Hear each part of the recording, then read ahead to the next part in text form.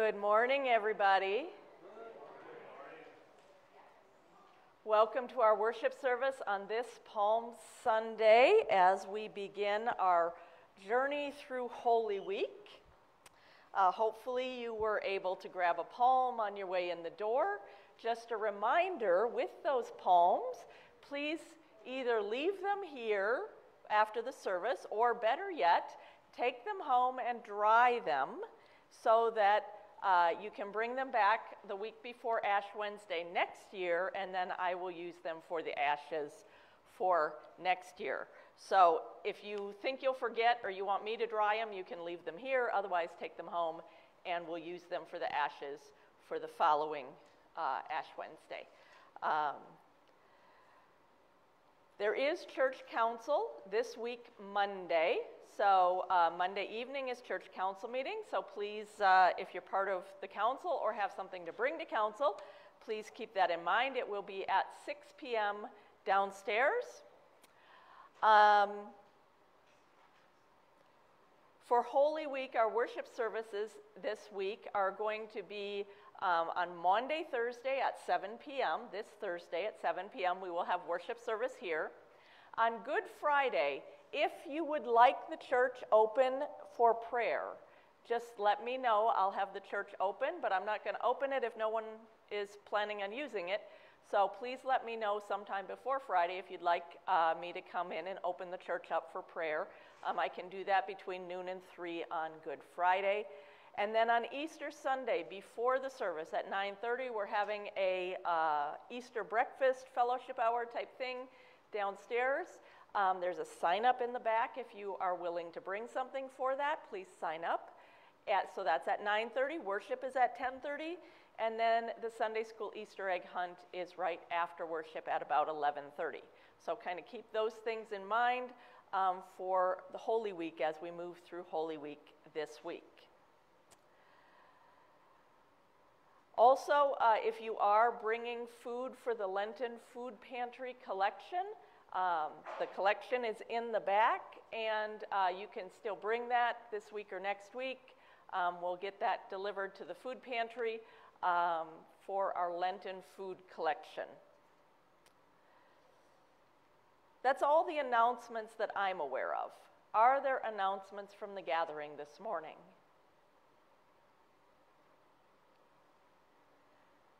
Today is a Holy Communion Sunday.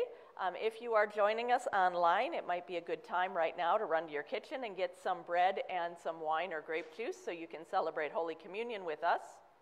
If you're here in the sanctuary, um, we got feedback from our young people that while they didn't mind the wine in the little cups, the grape juice in the little cups was a little bit um, interesting. Um, and so uh, after council talked about that, we said, you know, with where we're at with health at this point in time, um, we're comfortable going back to doing Holy Communion by passing the individual cups and trays through the pews. So uh, Debbie and Don are going to help me today with that. So when we do Holy Communion today, uh, we will be passing the trays of bread and the trays of wine through the pews. Uh, the wine is in the outer circles on the trays, and if you want grape juice, that's in the center circle on the trays. Um, so that's how we'll do communion um, moving forward. Are there any birthdays or anniversaries to raise up today?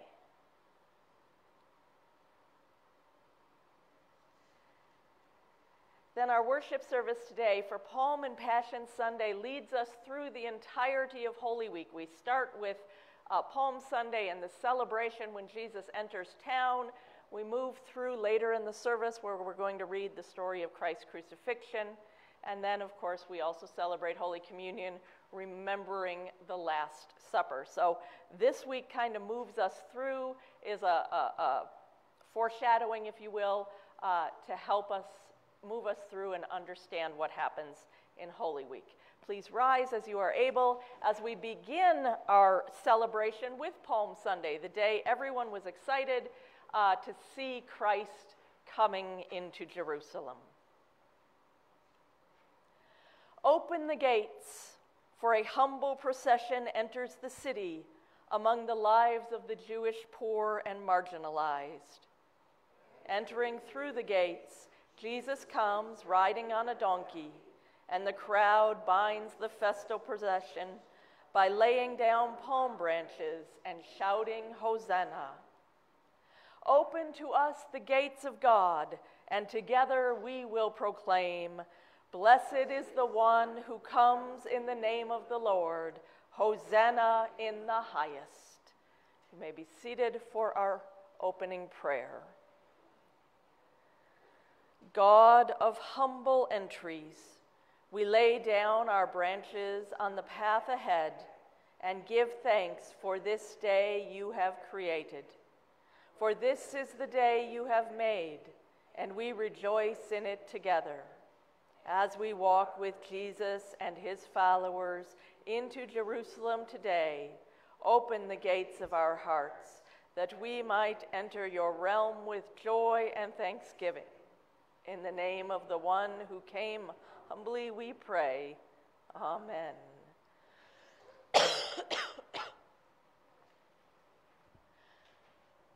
Our first hymn for today is number 213 as we celebrate the coming of Christ into Jerusalem.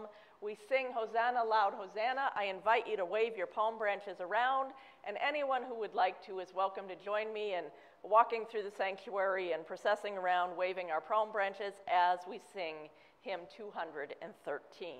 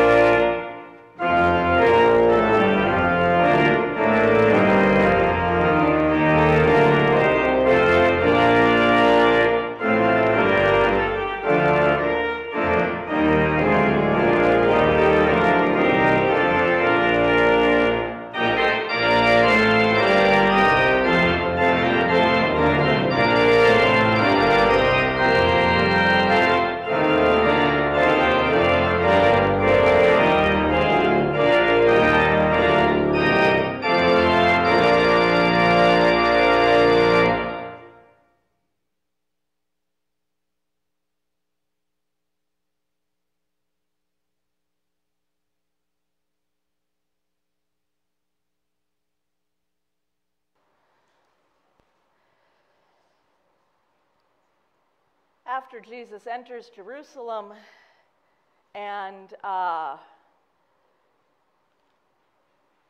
begins his, the Holy Week journey on the last day, or as he's entering, and on this last day before his crucifixion, he celebrates the Passover meal with his disciples.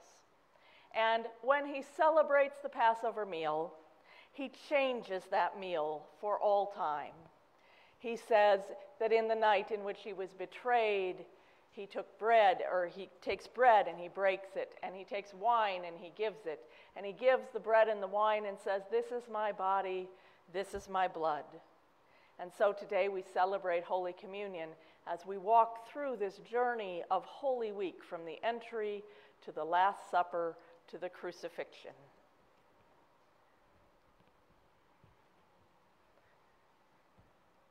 In the night in which he was betrayed, our Lord Jesus took bread, gave thanks, broke it, and gave it to his disciples, saying, Take and eat.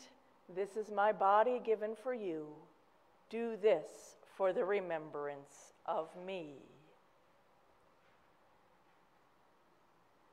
Again, after supper, he took the cup, gave thanks, and gave it for all to drink, saying, This cup is the new covenant in my blood, shed for you and for all people for the forgiveness of sin. Do this for the remembrance of me.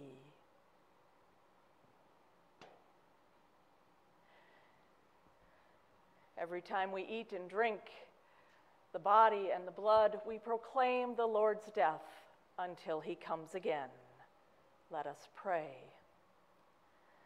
Our Father, who art in heaven, hallowed be thy name.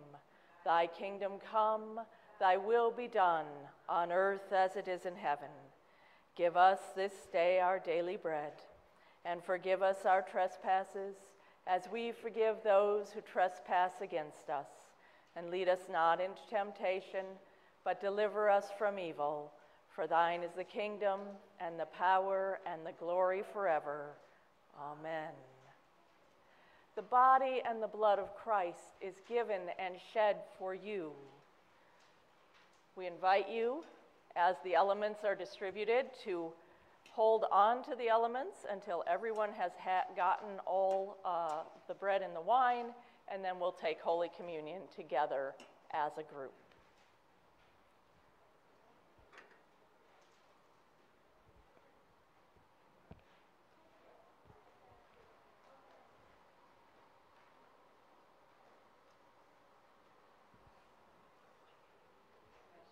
Mm-hmm. I'll get one at the end. I'm good.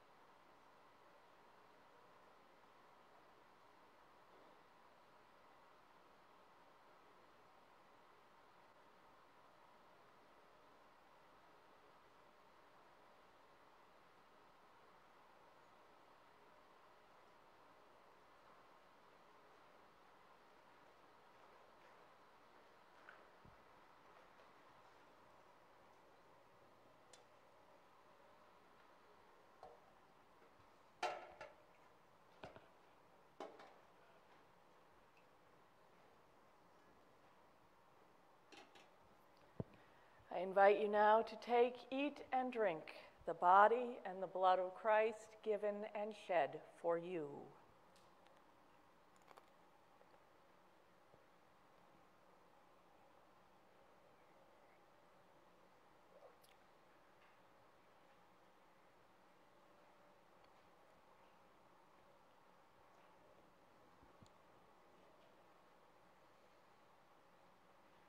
Now may the body, the blood, and the blessing of our Lord and Savior Jesus Christ strengthen you and keep you in grace. Amen.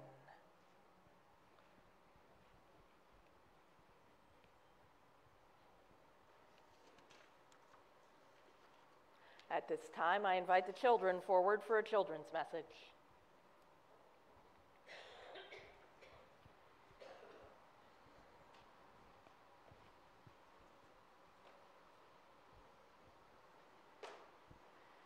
Good morning. So, when you guys have ever attended a parade, has there ever been anything thrown at the parade?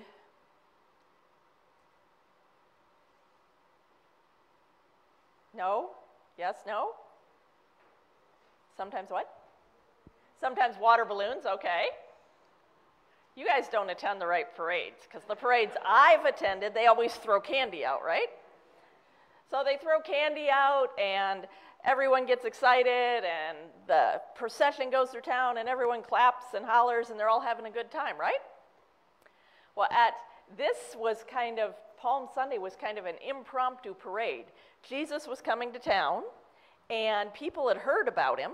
They'd heard that he was this wonderful healer and this brilliant teacher, and they were all excited because they thought, hey, this guy's going to come to town, he's going to heal us, he's going to take care of us, he's going to chase the Romans out of town, and we're going to have somebody on our side finally. And so they threw him a parade, but they didn't have candy to throw. And so instead, they started cutting all the branches from the trees, just like we have in our hands today, and they cut them down and they started waving them around like flags, and they put them down on the path in front of him so he wouldn't have to walk through the mud and uh, or ride through the mud, and all of this because they were so excited that he was coming to town. Now, once he got to town and they started talking to him a little bit and learning a little bit more about him, they realized that he wasn't just going to do whatever they wanted. And that's when they started getting a little grumpy. So by the end of the week, they're pretty grumpy, and that's when they decide that they should kill Jesus. But at the beginning of the week, they're really excited. They've thrown him a big parade. And so, Palm Sunday, the first half of our worship today, we just remember that big parade and we celebrate that we should welcome Jesus into our lives in that same way, with a great big parade, with a joy and excitement. Let's bow our heads and say a prayer. Dear God, we thank you for these young people. We thank you that you have come into their lives and our lives. Help us always to welcome you with joy and excitement. In Jesus Christ, amen. Thanks for coming up this morning. You're headed off to Sunday school.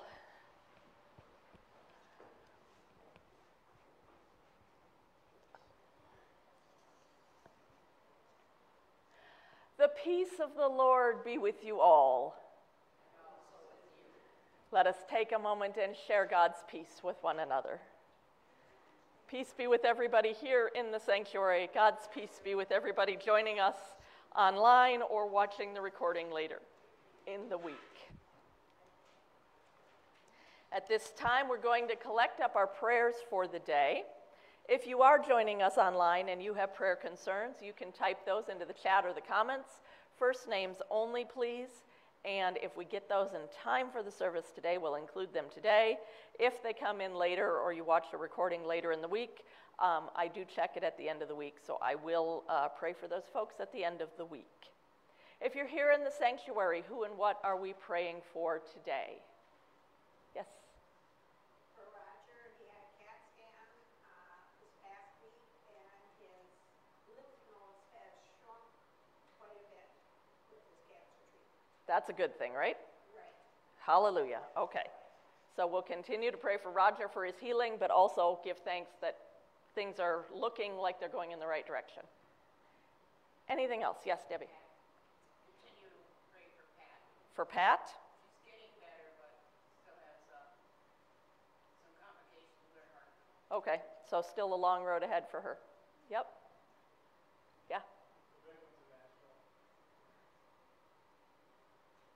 The victims what? Nashville. In Nashville? Oh, that's right, there was the shooting in Nashville.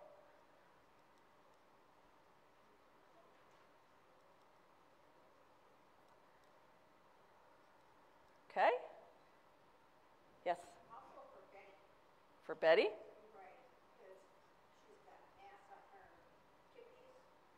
Okay? So we'll raise up prayers for Betty today as well. Anything else? I'm going to put my friend uh, Heather on there, uh, the little girl who was hit by the bus. She's got a long road to recovery, so she's on there as well for the day. We'll raise up those folks as well as anybody who comes in a little bit later on in the worship service. We'll raise all of those up uh, a little bit later in the service today. Right now, we're going to take a moment to pause to pray for ourselves as we enter this Holy Week. Oh God, we know that our lives have missed your mark and fallen short of your call to love you and our neighbor with our whole lives. At times, we can enter into the circumstances of our lives with power over others, arrogance, and a lack of awareness of the needs of our neighbor. Forgive us for being more interested in our own achievements and our obsession with seeking the approval of others. Come and save us now. Transform us into a people of humility and righteousness, we pray. Amen.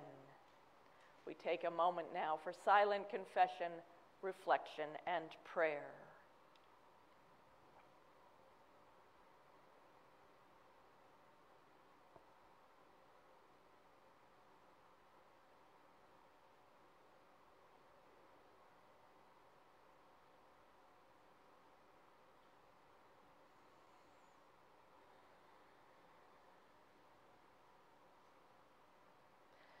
The good news of God this day is this. This is the day that God has made. Let us rejoice and be glad in it. For on this day, God has entered into our lives with love and compassion for all who surrender and lay down their life in Christ. Friends, we are loved, we are embraced, we are forgiven. Amen.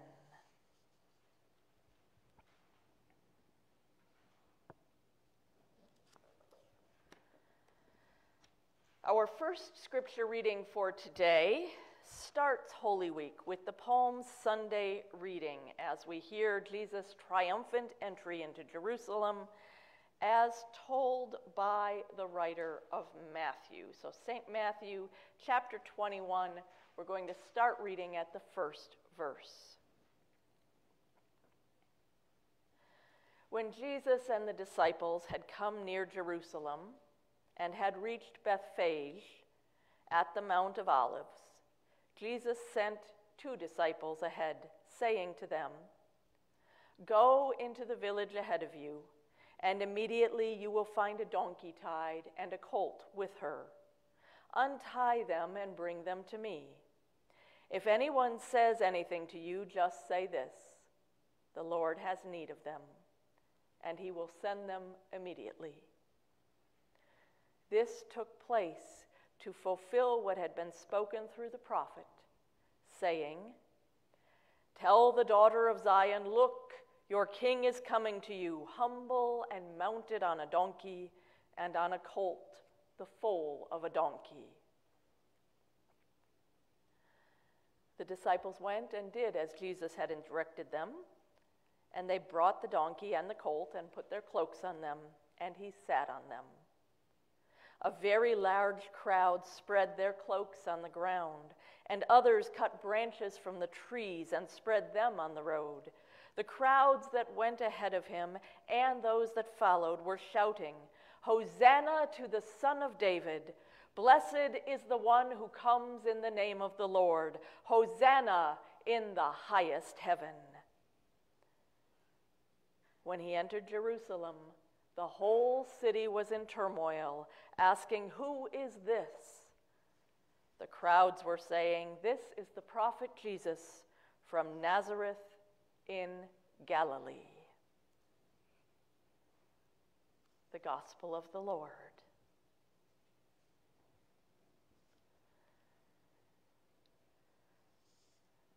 We continue our service with hymn number 216 as we remember and kind of reenact that uh, whole, all of Holy Week, but in particular right now, that triumphant procession into Jerusalem.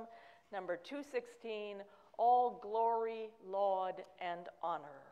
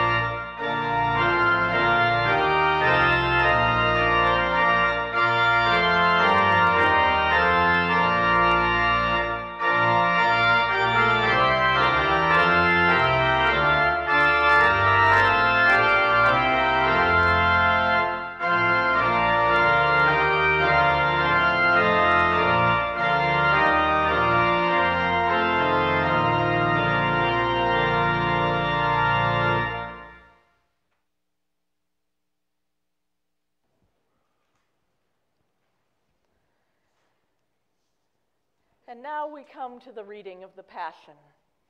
For the week that Jesus was in Jerusalem, from the beginning where they were cheering and excited that he came, to the end when they were calling for his crucifixion, the crowds react to the coming of God in their midst. They think, perhaps, when he comes at the beginning, that he will do exactly what they want, that he will be the quick, temporary fix to their immediate problems, that he will heal them, that he will teach them, and that he will chase the Romans out of town. But God, in God's wisdom, sent Christ not just for one momentary time in uh, one momentary place, but God, in God's wisdom, sent Christ for all time and for all place.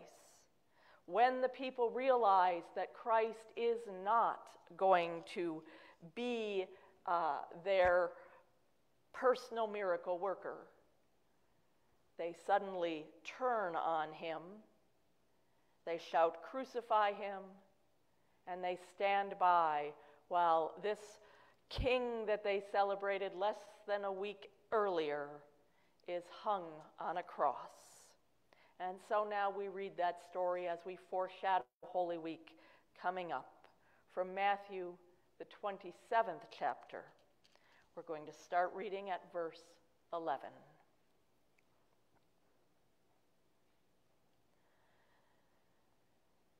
Now Jesus stood before the governor, and the governor asked him, Are you the king of the Jews?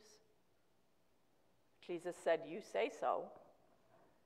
But when he was accused by the chief priests and the elders, he did not answer. Then Pilate said to him, Do you not hear how many accusations they make against you? But he gave him no answer, not even to a single charge, so that the governor was greatly amazed. Now, at the festival, the governor was accustomed to release a prisoner for the crowd, anyone they wanted. At that time, they had a notorious prisoner called Jesus Barabbas. So, after they had gathered, Pilate said to them, Whom do you want me to release to you? Jesus Barabbas or Jesus who is called the Messiah? For he realized that it was out of jealousy that they had handed him over.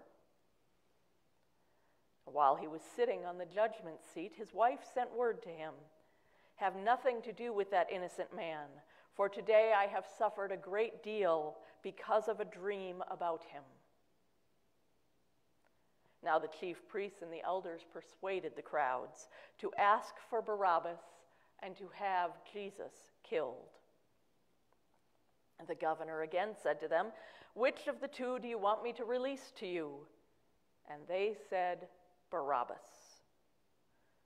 Pilate said to them, Then what should I do with Jesus who is called the Messiah? All of them said, Let him be crucified. Then he asked, Why? What evil has he done? But they shouted all the more, Let him be crucified.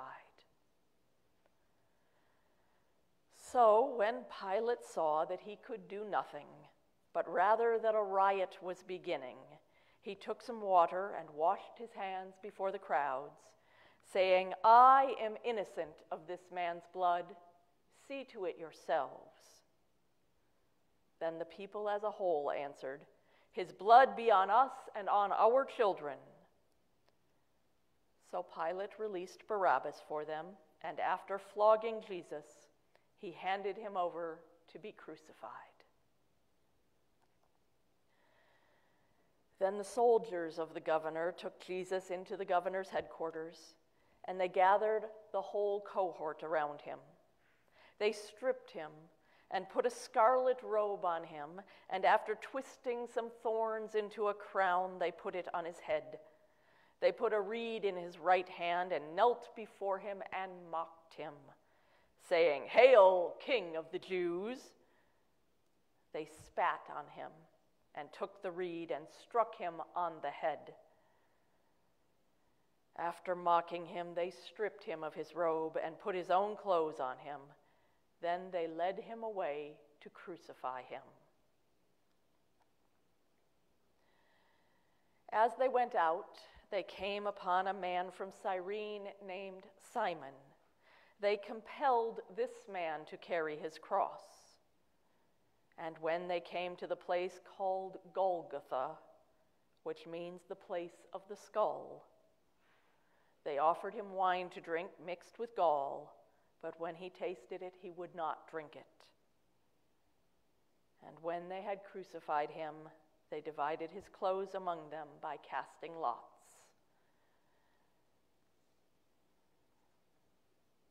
Then they sat down there and kept watch over him. Over his head they put a charge against him which read, This is Jesus, the King of the Jews. Then two bandits were crucified with him, one on his right and one on his left. Those who passed by derided him, shaking their heads and saying, You who would destroy the temple and build it in three days, save yourself. If you are the Son of God, come down from that cross. In the same way, the chief priests also, along with the scribes and the elders, were mocking him, saying, He saved others, and he cannot save himself. He is the King of Israel. Let him come down from the cross now, and we will believe in him. He trusts in God. Let God deliver him if he wants to, for he said, I am God's son. The bandits who were crucified with him also taunted him in the same way. From noon on, darkness came over the whole land until three o'clock in the afternoon. And at about three o'clock, Jesus cried out with a loud voice, Eli, Eli, Lama Sabachthani. That is, My God, my God, why have you forsaken me? When some of the bystanders heard it, they said, He is calling for Elijah. At once, one of them ran and got a sponge and filled it with sour wine and put it on a stick and gave it to him to drink. But others said, Wait, let us see whether Elijah will come to save him. Then Jesus cried again with a loud voice and breathed his last.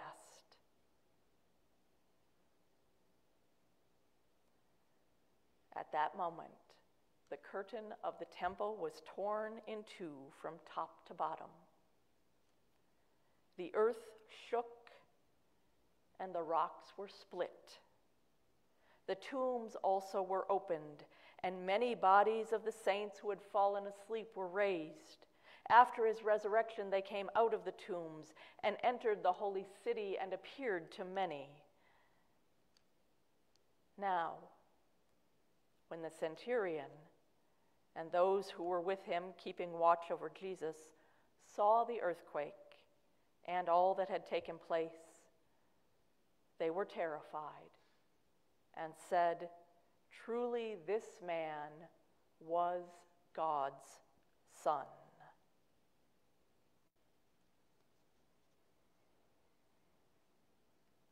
The Gospel of the Lord.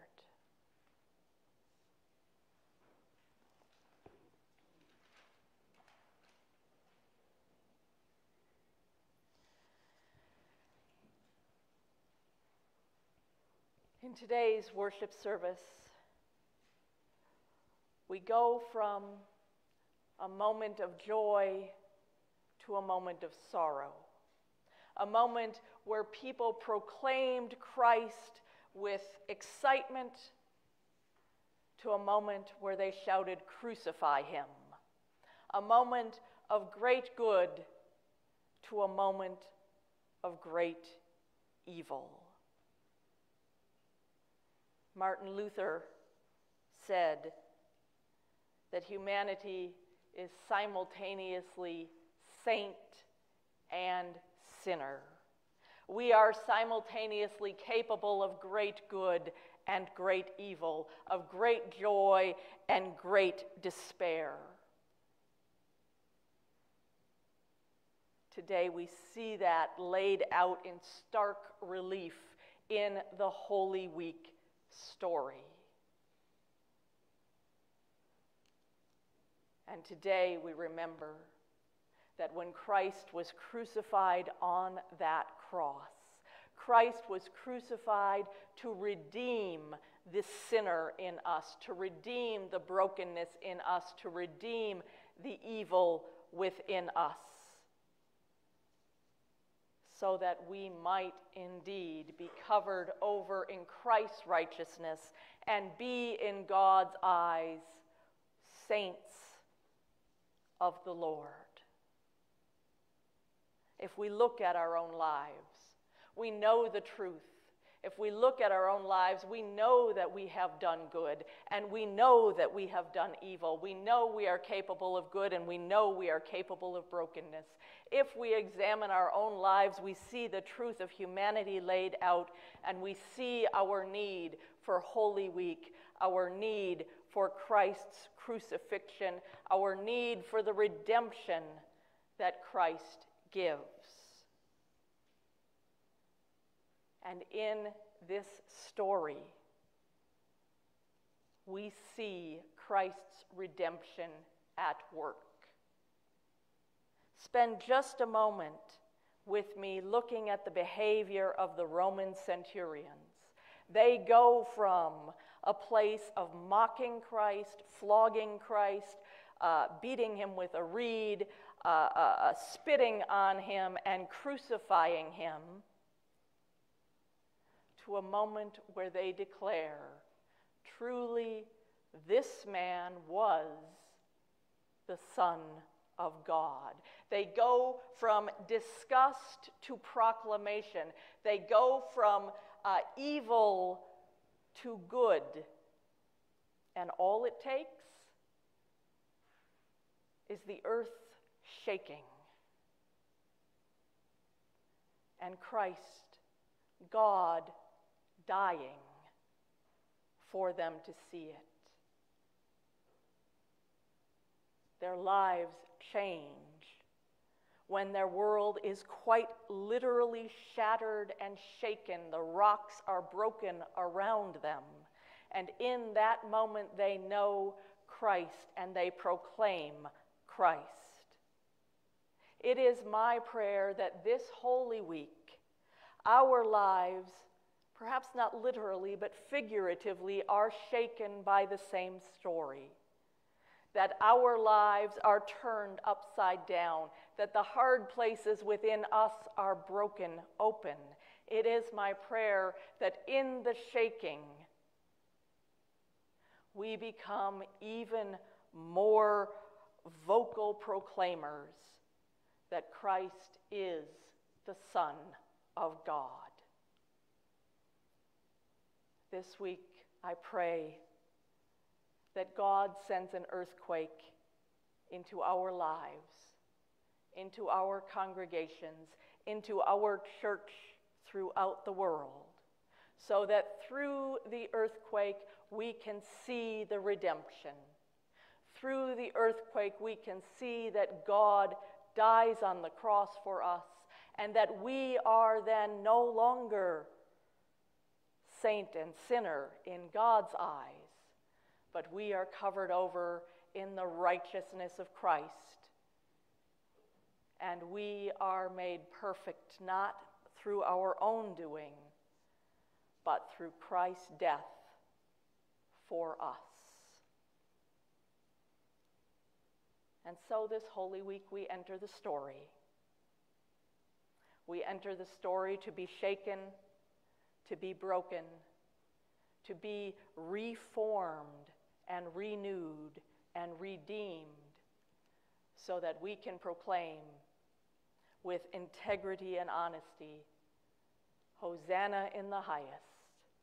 Blessed is Christ who comes in the name of the Lord. Amen.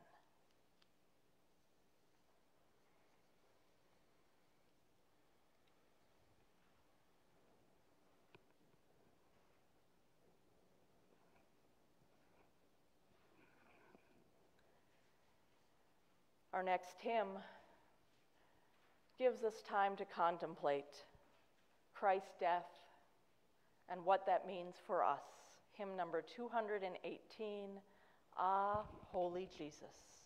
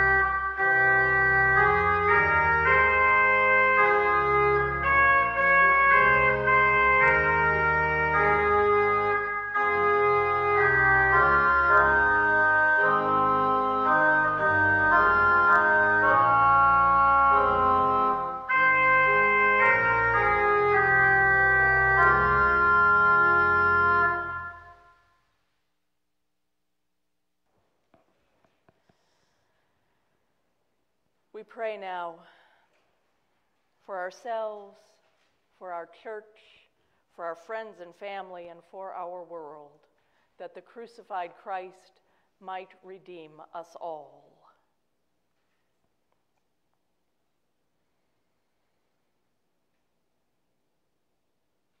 Jesus Christ, Messiah and Redeemer, we thank you for your life and your death for our sake. Help us and guide us so that we might be proclaimers of your goodness in a world that desperately needs to hear it.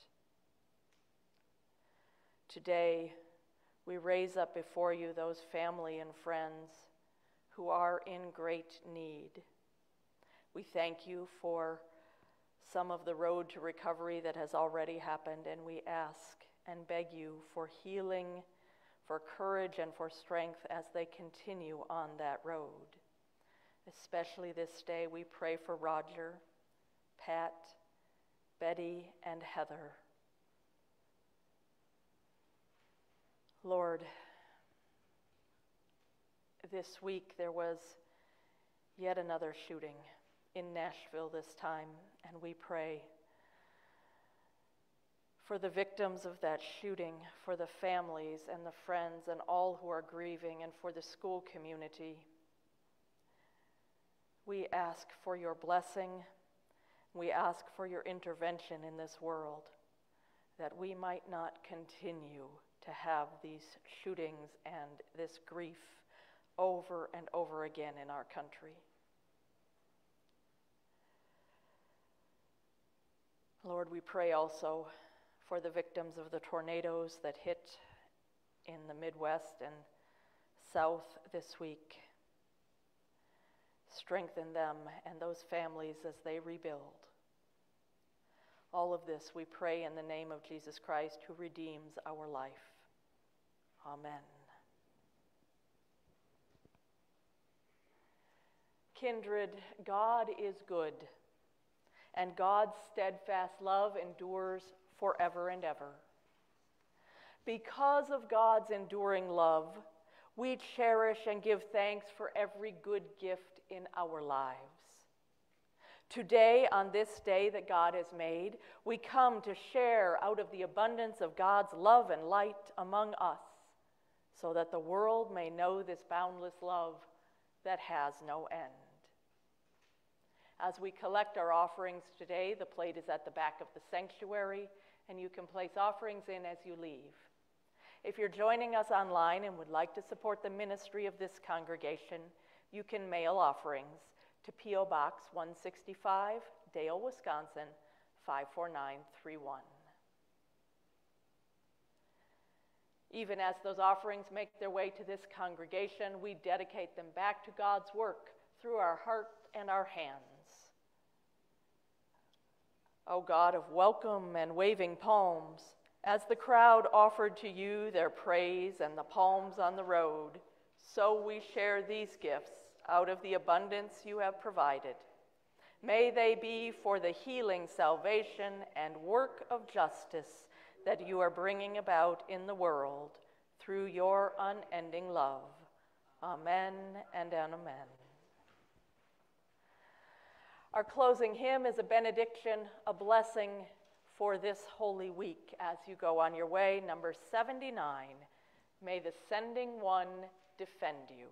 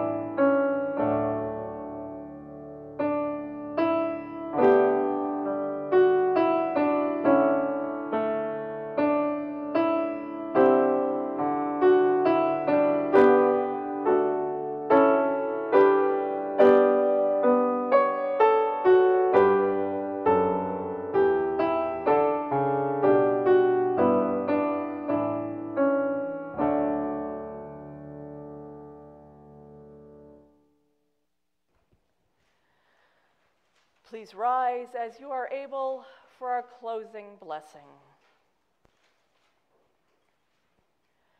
Friends, go forth humbly to serve the God whose love endures forever. Go forth in the name of Christ who entered Jerusalem on a lowly donkey. Go forth in the strength of Christ who suffered the cross for our sake. Know that God's love endures forever, even through death, into resurrected life. Amen.